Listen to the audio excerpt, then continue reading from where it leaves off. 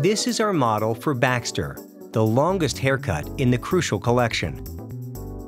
Create a low horseshoe-shaped parting to keep maximum length and weight at the top of the head. Adjust the parting from side to side if necessary. Reduce any extreme length prior to setting in your design panel if necessary.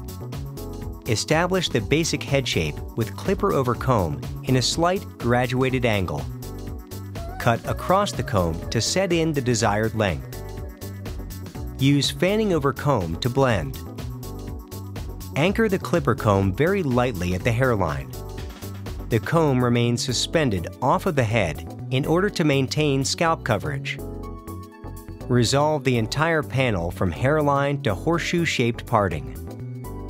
The detail at the end is for lightly adjusting the taper with either razor, shear over comb, or light clipper work.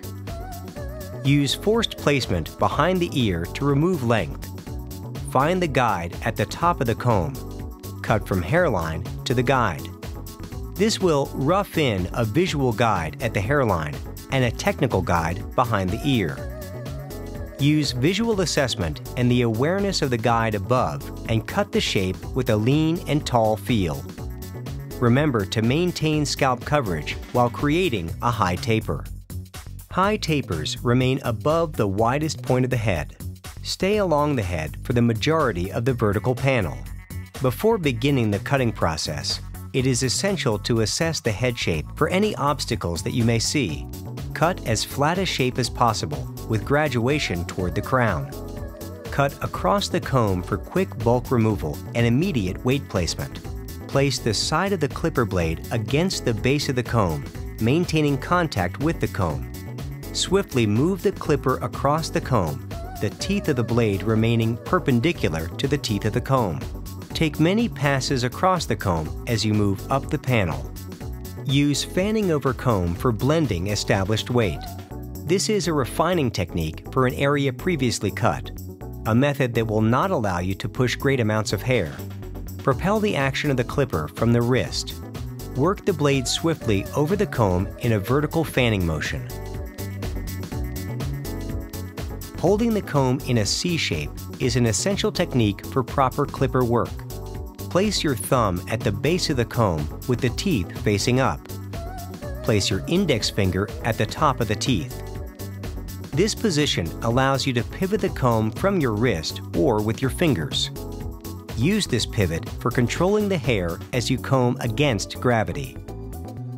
This position also allows you to flip the comb and literally comb the hair with gravity when cutting in basic shape.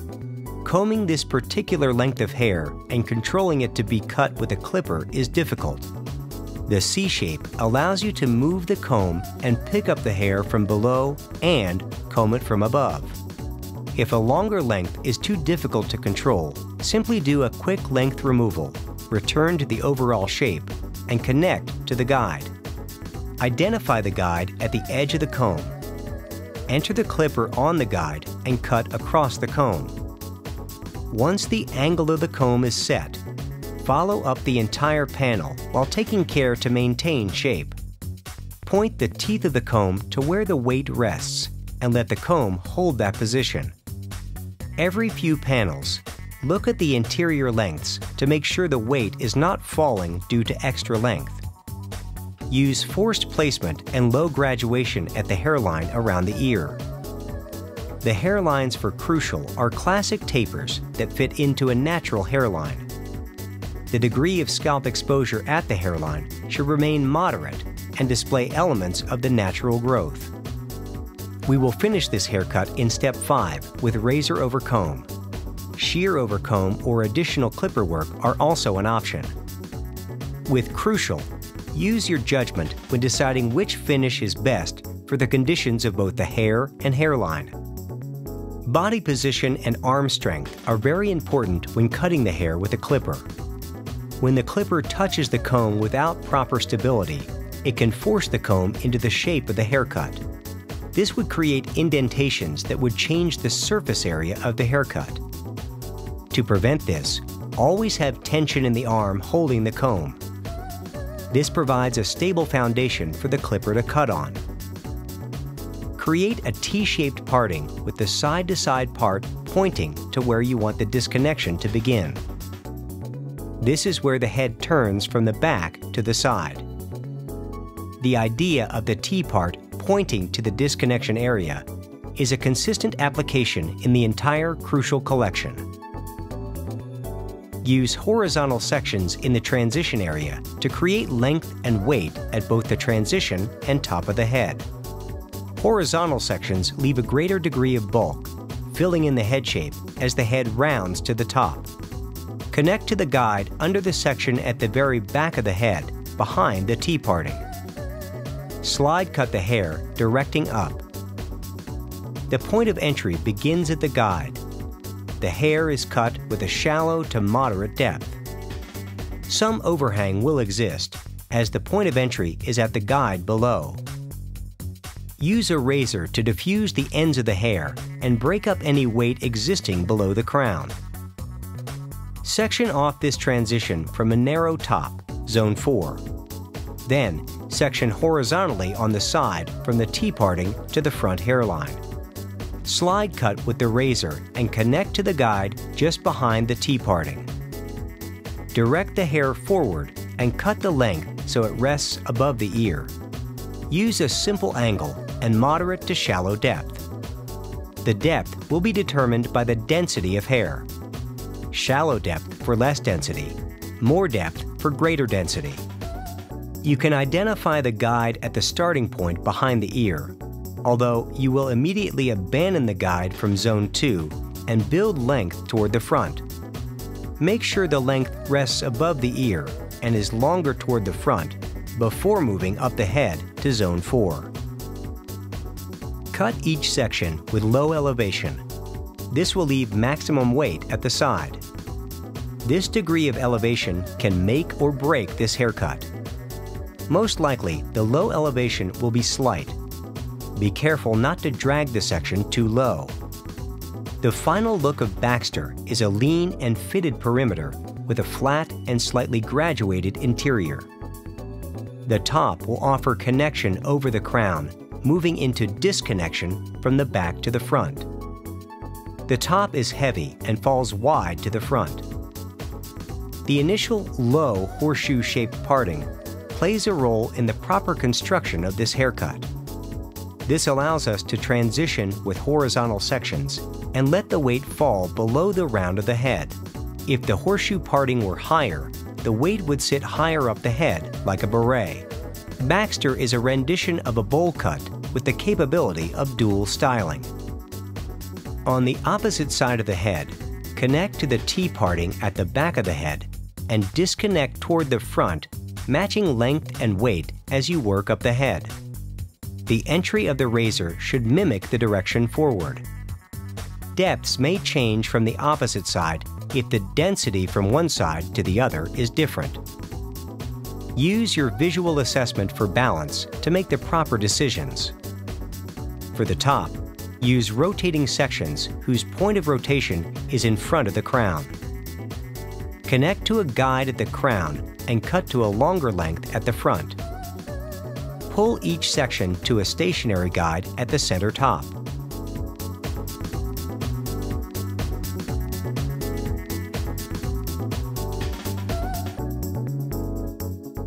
Starting in the center, slide cut forward with moderate depth. Leave enough length so it falls to gravity, but short enough that it adds a long layered result to the hair previously cut at the transition. If the front allows, make sure the length falls below the eyes and is cut to leave weight at the forehead. The result may have a slight amount of overhang at the crown area due to the initial separation of Zone 4. You may need to connect length as an isolated detail element after cutting the top. Use rotating sections and connect to the stationary guide first. The sections rotate from the crown area toward the temple. This sectioning, paired with the stationary guide, will leave more weight toward the recession area where you may need more coverage. The front should result in a very long and heavy bowl-shaped finish. Rotating sections are not a typical application for men's work. A rotating section pattern is the preferred choice for the client with recessive qualities or to simply leave weight. This sectioning allows for over-direction away from the recession area. It is easy to make subtle adjustments in over-direction and cutting angle. It is reserved for a situation such as this. You will find us using this for collection work that has unique shape toward the front and for thinning haircuts in which you want to reserve length at the top. When working with a stationary guide, you can take extremely wide sections. A stationary guide is the result when all the hair is directed onto a guide that remains at one specific area of the head. This offers an extreme increase in length away from the guide. Just make sure that you are in control of the hair and can identify the guide. The hair is cut at the same location and basic length when working with stationary guides. Theoretically, we could cut the entire top in one section, although with this amount of hair, it would be very difficult to control.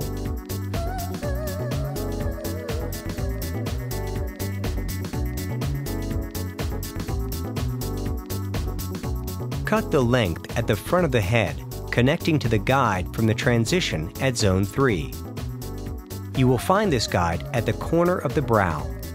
The final result is a bowl shape at the center of the eye or longer.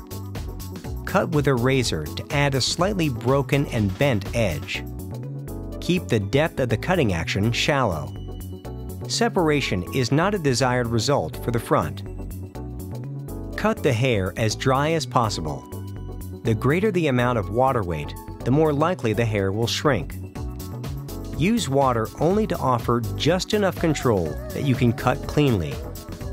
With this much density, you will need to use tension on the section.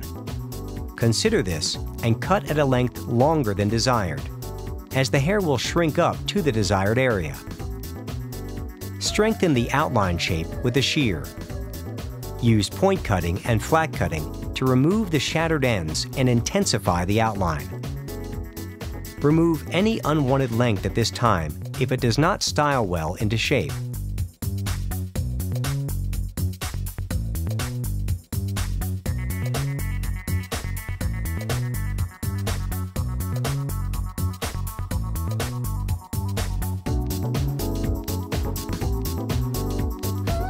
Use American Crew Moisturizing Shave Cream for normal to coarse beard types to shave the unwanted hair below the taper.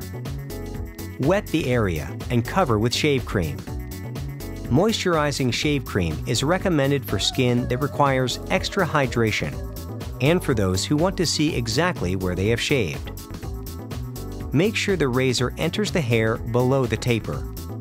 For a more natural, grown-out hairline, enter the teeth of the razor into the tapered area and simply remove the unwanted neck hair. The neck shave is a great way to finish any and all haircuts on men. It is important that you do not create a new edge with the razor. If a blocked off line shows, return with razor over comb in that area. If the broken hairline and the elongated taper are not functional, use the clipper and remove the lowest hairline with a more fitted taper.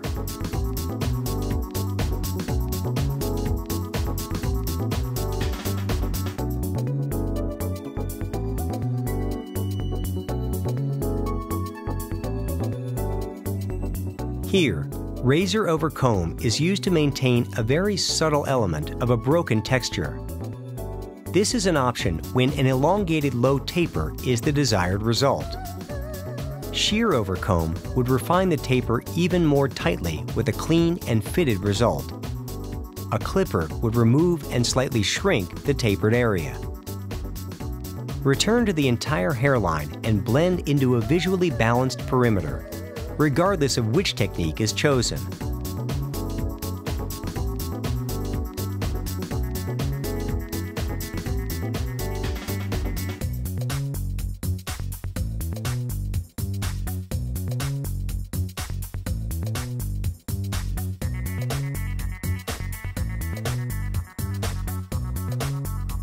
For finish option number one, use American Crew Boost Cream to offer volume and thickness to this bowl-shaped style.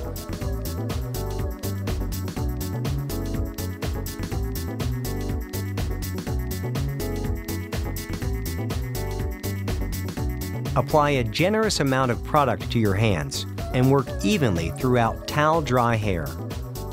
For completely dry hair, a little goes a long way. Work Boost Cream into the entire haircut from scalp to ends. Use a Denman brush to smooth the hair around the head. Here, we are applying a technique in which we use the roundness of the head to create a round finish. Wrap the hair around the head with the brush and the blow dryer. Use the Denman, section by section, to smooth the hair and create a strong and solid front hairline. Watch the ends of the hair so they work through to an even line on the base of the brush. Use the brush to grab and to elevate the sections at the top for added volume. The full finish is a must for this dapper style. For finish option number two, use American Crew Alternator for a flexible hold and separation for this casual floppy finish. Alternator offers a dual styling capability without a second product application. Towel dry the hair well to remove the majority of the water from the hair. Spray on alternator, misting inside the shape. Rough dry to remove more moisture and set the product into the hair. Use the Mason Pearson to create wave and force movement. Bend the hair with the brush in random sections. Use the brush and dryer to elevate. Push to elevate and force wave in the front for a casual and floppy finish. Create an elevation off of the forehead for a greater change from finish option number one. As the hair dries, watch the shape develop the desired result is a random, loose, and wavy texture at the front that cannot completely fight gravity.